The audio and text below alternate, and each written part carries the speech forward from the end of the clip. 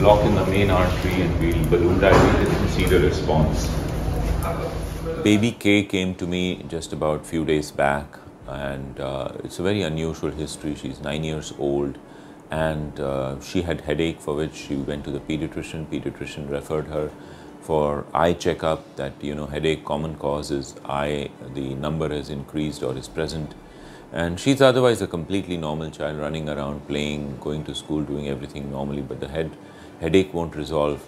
So um, when the eye checkup was done it was normal and at the eye center blood pressure was taken in the upper extremity and it came out to be 160 over 110 which is very high and they were referred for an echocardiogram where a diagnosis of coarctation was made.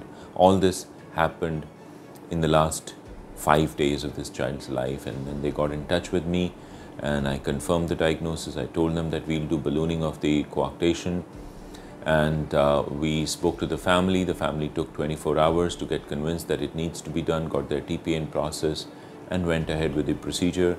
Um, native coarctation ballooning, especially when it is so very narrow that the upper body blood pressures are 160, lower body blood pressures are less than 100, we know that uh, it is a critical ballooning and uh, as you would see in some of the pictures, it came down to as narrow as about 3-4 millimeters. We ballooned it in a very graduated fashion initially uh, with a diameter of 6, 8, 10 and then finally a 12 balloon dilated and that resulted in the resolution of the waist of the balloon and the pressures finally in the upper and lower half of the body were almost equal with a difference of less than 5 which is completely acceptable and I anticipate a completely normal uh, process of recovery and further lifestyle for this child. Maybe the child does require a stent placement in the future as many coarctations do, but that needs to be seen.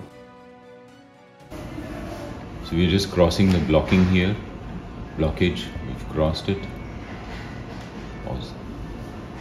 And here we are doing the first injection. This is the obstruction here, which we will see better in the next injection right here and then we balloon it multiple times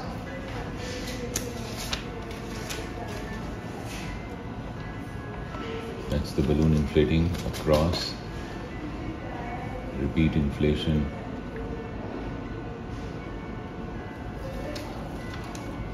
Across. Full inflation.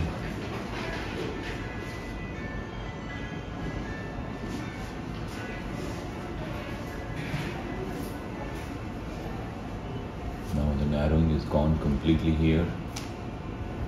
And the last inflation after this. The narrowing will be seen. Where the narrowing was and that's going away.